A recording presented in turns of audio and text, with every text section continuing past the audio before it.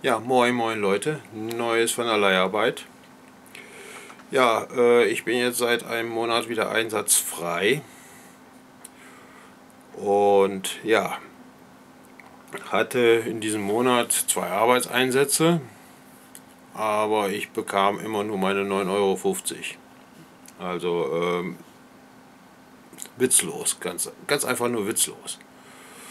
Und naja, das war das eine war irgendwie in einer, äh, ja, ist das Biogasanlage, irgend so, so einen komischen Wärmetauscher reinigen mit so einem Kundendienstmitarbeiter.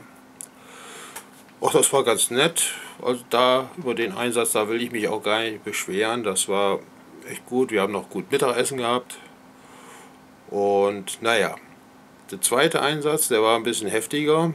Da sollte ich dann als Fenstermonteur arbeiten. Für 9,50 Euro wohlgemerkt. Ne, eine Facharbeitertätigkeit. Und ja, dann komme ich dahin und dann hat mich jemand gefragt, ob ich schon mal Fenster eingebaut hätte. Ich sage, vor 35 Jahren, hallo. Ja, also für 9,50 Euro baue ich keine Fenster ein, tut mir leid. Ja, äh, der Arbeitseinsatz, der ging dann auch nur zwei Tage, sollte ursprünglich eine Woche gehen, aber da ich ja nur äh, erst, äh, ich sag mal so, vor 35 Jahren ein Fenster eingebaut habe, war das eben nichts. Naja, ist auch egal. So, jetzt am Montag Abend rief, ja, gestern, ja, rief die Leiharbeiterfirma bei mir an und da meinte die Frau, die gute Frau, ja, äh, kommen Sie morgen in Arbeitsklamotten hierher.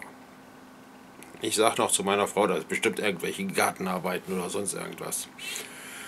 Ja, äh, mit Arbeitsklamotten in mein Auto ist nicht. Also habe ich Klamotten eingepackt und bin da hingefahren und es war so.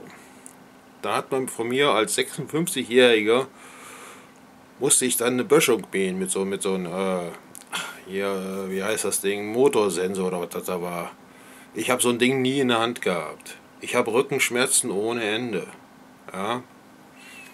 So, die Mitarbeiter auch nicht gerade sehr freundlich da. Kannst du vergessen. Nur hatte ich am Wochenende äh, auch mein Geld gekriegt, äh, Freitag, also meinen Lohn. Ja. 1100 Euro, sage ich nur. Wie will ein normaler Mensch mit 1100 Euro rumkommen? Das ist ja absolut unter aller Sau. Ja. So. Nun kam heute mit der Post meine Abrechnung und da haben die mir wieder Überstunden Urlaub abgezogen. Ich bin erst äh, eben um 5 Uhr nach Hause gekommen und habe die Abrechnung gesehen, habe da auch gleich angerufen. Und da hatte ich dann irgend so ein, was weiß ich, so eine Schwuchtel am Telefon und äh, der meinte dann, ja, äh, das ist mit der Ab mit Absprache von Blau Frau bla bla bla so gekommen und so. Ich sage, das ist mir doch scheißegal. Laut Paragraph 615 ist das nicht erlaubt und ich will meine Stunden wieder haben. Ja, Sie sind ja morgen auch wieder bei uns im Einsatz, hieß es dann, und äh, dann können wir ja drüber reden. Ich sage, Sie können gerne drüber reden. Ich brauche da nicht drüber reden. Ich will meine Stunden zurück. Ansonsten gehen wir vor Gericht, ist überhaupt kein Thema.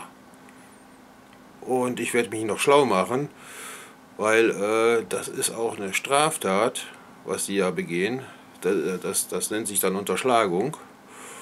Und wenn das dann wirklich so ist, dann werde ich denen auch noch eine Anzeige wegen Unterschlagung rein, reindrücken. Ich bin ja jetzt mal auf morgen gespannt. Und ihr seid es bestimmt auch. Okay, das war's dann erstmal für heute. Ich wünsche euch was. Bis dann. Tschüss.